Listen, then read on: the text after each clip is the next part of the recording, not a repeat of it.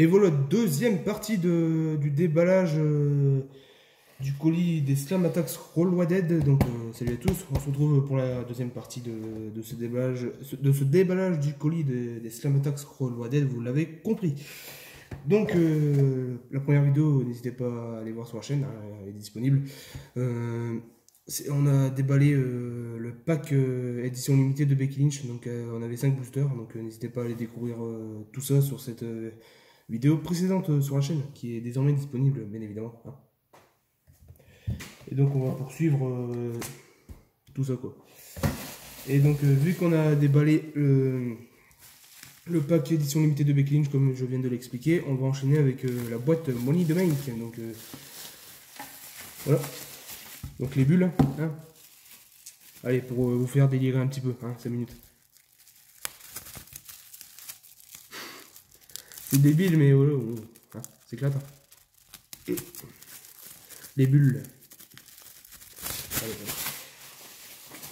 On perd notre temps ça, hein. C'est débile. C'est débile. Voilà, belle boîte Money in the Bank, hein, d'ailleurs.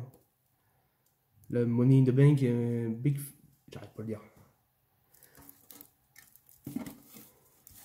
J'arrive pas à le dire, bon, bref. Voilà, belle, bo- belle boîte Money hein. L'avant, l'arrière, voilà. Elle est corps sous blister, donc... euh, je vais la dévoiler.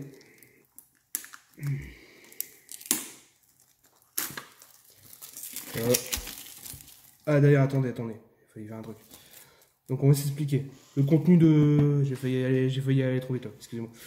Donc là, il y a une vignette. Donc euh, ça nous a dit qu'en gros, ce que contient cette euh, boîte en fer Money the Bank.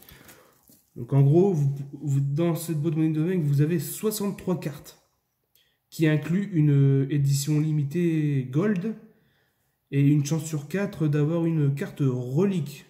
C'est-à-dire une carte genre Triple H contre Batista WrestleMania 35 avec un morceau de tapis de ring ou encore d'autres cartes euh, avec une carte d'une superstar avec un morceau de leur t-shirt qu'ils ont déjà porté euh, lors d'un show télévisé. À Raw ou à SmackDown ou à NXT.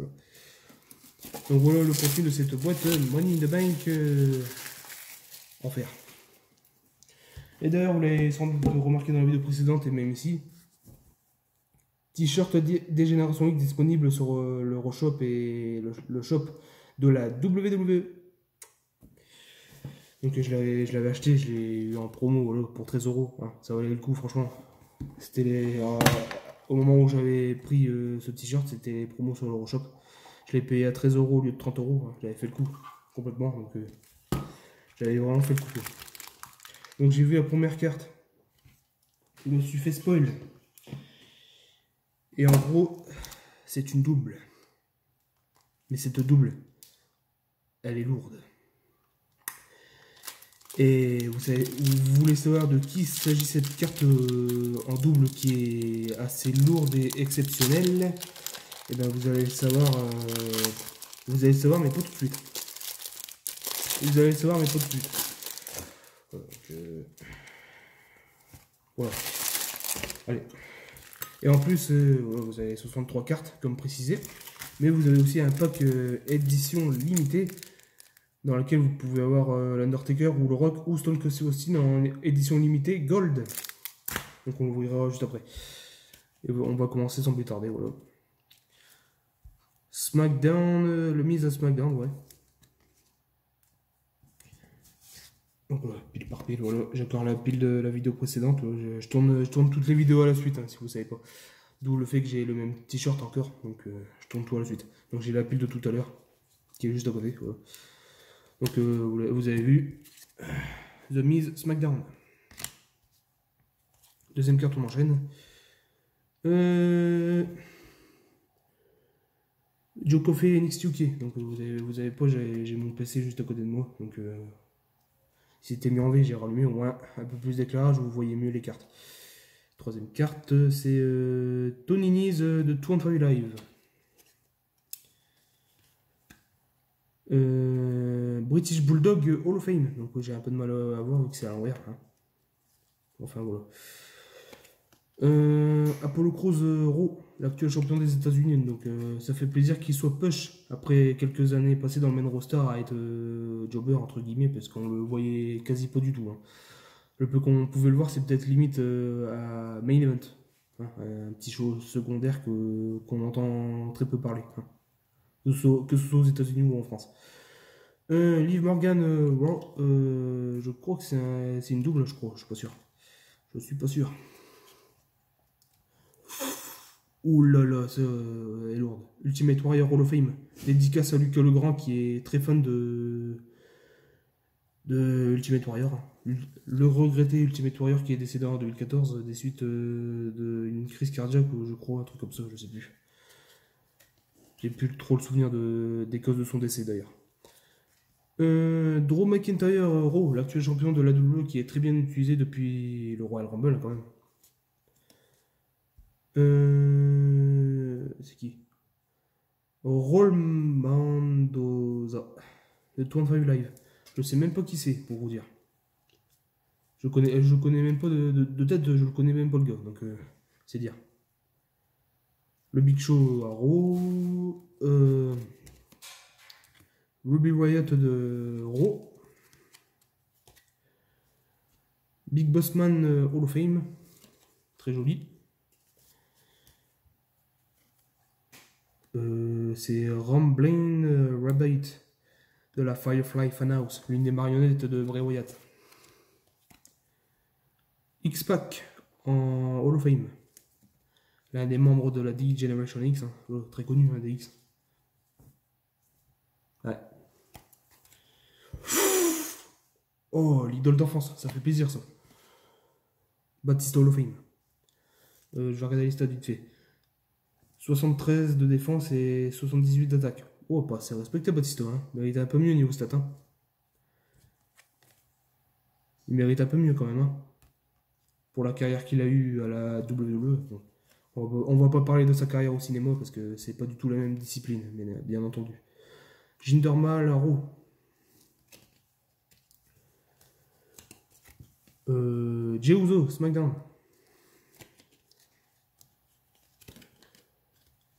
Carte table. Ça fait plaisir. Très belle carte aussi. The Brotherweight, c'est une double, me semble-t-il. Je vais la mettre de côté, tiens, les doubles. J'ai pas pensé à faire ça tout à l'heure. Otis en future légende. Parfois, soit à l'envers. Ici, on a euh, Far Rock euh, Hall of Fame.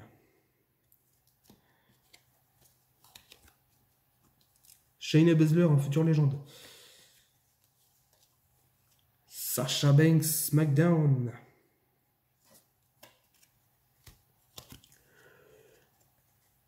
Miaim NXT. Belle aussi celle-là. Shawn Michaels Hall of Fame.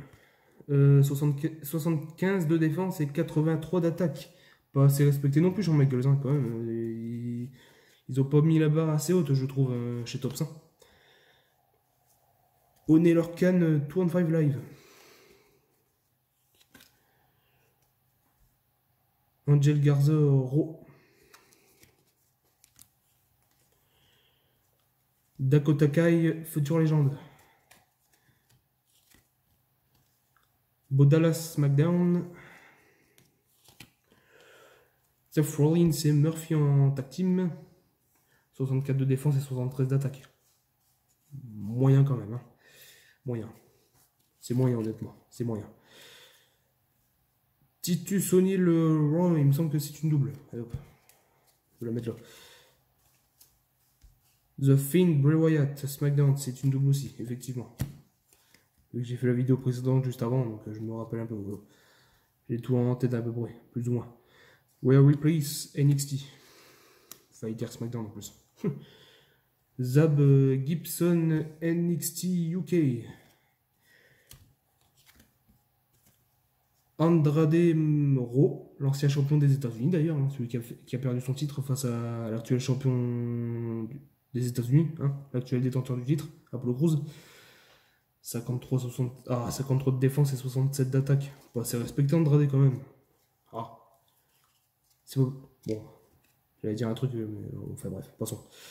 John Morrison SmackDown. Ils ont mis une image en plus.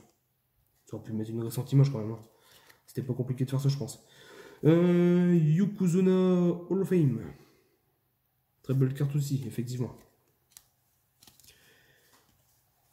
Sheamus SmackDown. Everrise Tag Team. Je, sais, je connais même pas cette équipe d'ailleurs. Je connais pas les deux, lutteurs. Euh, merci The Buzzer euh, de la Firefly Funhouse, l'une des marionnettes de Bray Wyatt. Je vais tous les avoir, je crois. Style cher. Pete Dune en future légende, c'est une double.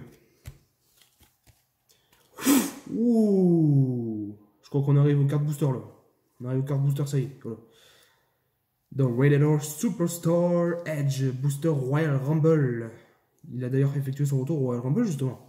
Bon, il n'a pas gagné, mais, mais c'était un moment incroyable quand même. Même si j'avais entendu les rumeurs, tout ça circuler sur Facebook, euh, Twitter, tout ça. Malgré tout, que je, je m'y attendais quand même à son retour. Euh, sur le coup, j'étais quand même surpris, assez surpris, assez choqué, mais aussi heureux quoi. Hein Goldberg Super Showdown. Oh, qu'est-ce que j'ai fait? J'avais mis Edge Booster Rumble dans les doubles, n'importe quoi. Goldberg ici aussi. Hein. Kevin Owens euh, Extreme Rules. Pas assez bien noté non plus, parce que bon, 84 de défense et 75 d'attaque, euh, c'est pas assez élevé, je trouve. Hein. Euh, ah ouais, waouh. Nicky Cross Booster SummerSlam. Donc c'est tous des boosters, donc on va éviter de dire booster le moment. Euh, Randy Orton c'est une double. C'est sûr. Ah merde, une double aussi. Jinsuke Nakamura Extreme Rules, c'est une double aussi. Ça, c'était à prévoir, les doubles. Hein. C'était à prévoir, je l'avais bien dit ça. Rare Replay Survivor Series. The Phenomenal AJ Styles Booster SummerSlam. D'ailleurs, il a perdu son titre de champion intercontinental face à Jeff Hardy euh, cette semaine à SmackDown. Donc euh, j'étais un peu surpris quand même. Je m'attendais plus à une victoire d'AJ Styles euh, conservant son titre, mais bon si vous voulez, hein, Jeff Hardy champion intercontinental, je dis pas non clairement. Waouh, magnifique ça. Iconique finisher, et c'est le finisher de Lidl, The Game Triple H, le pedigree, qui est assez bien noté, plus que bien noté je trouve. 86 de défense et 90 d'attaque. Ça passe largement je trouve, sachant qu'on ne le voit plus depuis quelques années, étant donné qu'il est part-timer et, euh, et que pour le pour que pour le peu d'occasions, pour les quelques occasions qu'on le voit catcher sur le ring, c'est pour mettre en avant les jeunes talents de maintenant, venant d'NXT ou, ou d'ailleurs quoi. Le NXT Women's Championship, ça fait plaisir. Je l'avais pas non plus. Je l'avais pas non plus. Euh... Finisher, finisher là. C'est simplement finisher, c'est pas un iconic finisher. Le Jackhammer de Goldberg. Plus ou moins respecté quand même au niveau des stats. Parce que bon, 63 de défense et 85 d'attaque, euh, c'est suffisant je trouve quand même.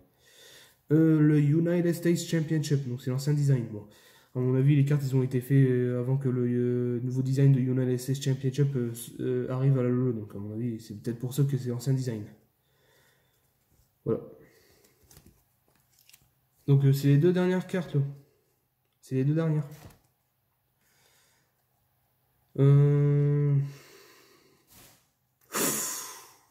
Oh Joli ça.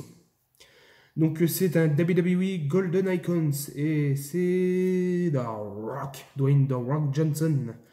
Donc euh, les stats 93 de défense et 98 d'attaque. Presque à 100 clubs, presque à 100 clubs quand même pour les attaques. 98. À deux pas près on était au club des 100 Donc euh, plus que bien respecté le Rock. Hein. Franchement on est très belle carte d'ailleurs. Euh, dernière carte. C'est ce que je vous disais tout à l'heure. Donc là cette dernière carte j'ai cru voir quelque chose mais il me semble très bien que c'est une double. Mais cette double que vous voyez là, que vous voyez, euh, un peu là, elle est très très lourde. Vous allez comprendre pourquoi, puisque je vais vous la montrer. Club descend, Drew McIntyre. Très belle carte, hein, encore une fois. Hein. Donc, euh, de ce que j'ai repéré, pour l'instant, euh, j'ai déjà quelques doubles quand même. Hein. Donc tout, tout, cela c'est des doubles. Donc euh, McIntyre euh, en, club descent, Shinsuke Nakamura Extreme Rules, Randy Orton, euh, El Inocel, Pete Dune, Future Legend, le Finn, Bray Wyatt, euh, Titus Sony, les, les Brotherweight sont des doubles. On commence à avoir des doubles, sauf à, se douter, hein, c'était prévisible hein, quand même. Donc la boîte est vide. Et derrière l'enveloppe que je vous avais montré dans la vidéo précédente, je crois que c'est la carte XL dont j'avais vu sur euh, le site de Tops.fr. Donc on va l'ouvrir juste après aussi. Donc là on a le pack, euh, le booster, le booster édition limitée. Donc on va l'ouvrir. Euh, je vais éviter de regarder, il me semble que là à la fin c'est. Ça va être la gold à mon avis. Je pense. Ouais. J'ai légèrement vu. Donc euh, Ouais. Hum... Plaquer au sol. Bon. Ah. Nous le revoilà. Shinsuke Nakamura Extreme Rules Booster. C'est une triple. Candice LeRae, future légende. Le Big Show il me semble que c'est une double. Paul Mendoza, c'est une. De 25 Live, c'est une double. Euh, Dexter Lumis d'NXT. Je sais plus si c'est une double, je vais la mettre là quand même. De toute façon, tout sera, vérifié de toute manière. Et là, euh, on a Mansour d'NXT qu'on voit très peu. Le peu qu'on voit, c'est en Arabie Saoudite. Hein.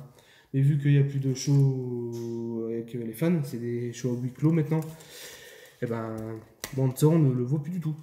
Voilà. Et ben là on va ouvrir euh, cette enveloppe qui contient une carte XL. Moi je, sais qui c'est déjà parce que quand j'avais passé ma commande sur euh, le site de TopCFR, euh, je savais, j'avais déjà vu qui, était cette carte XL. Et vous, vous ne le savez peut-être pas, mais probablement que si aussi parce que vous avez sûrement dû faire un tour aussi sur le site français de Tops. Et cette carte XL, c'est Becky Lynch, l'ancienne championne d'Euro, donc magnifique carte, elle brille aussi, tout autant que la carte XL de Charlotte Flair que vous avez vu dans la vidéo déballage du starter pack avec euh, les True Boosters. Donc euh, carte XL, euh, une carte XL brillante comme Charlotte Flair, elle brille fort, en plus j'ai l'impression qu'elle brille encore plus que celle de Charlotte Flair. Donc en plus l'image de Becky Lynch, voilà.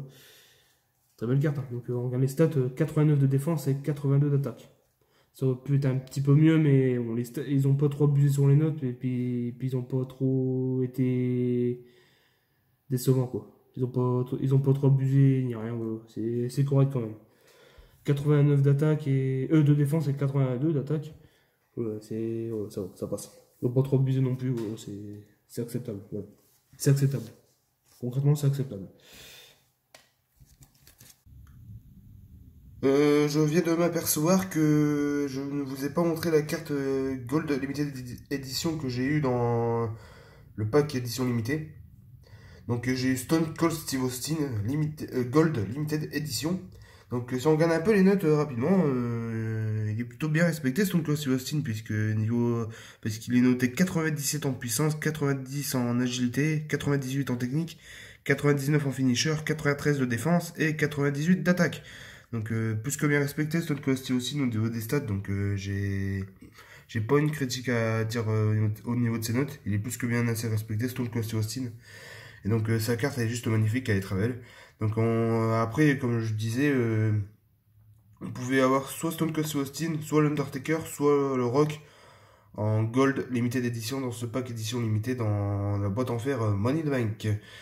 Donc en tout cas, j'espère que cette vidéo vous aura plu. Hein. donc n'hésitez pas à liker, à commenter, puis à partager cette vidéo si elle vous a plu. Et, et je vous invite aussi à vous abonner à la chaîne si ce n'est pas déjà fait. Puis on se retrouvera pour la troisième et dernière partie des vidéos Slam Attacks Dead. Donc euh, voilà, portez-vous bien et ciao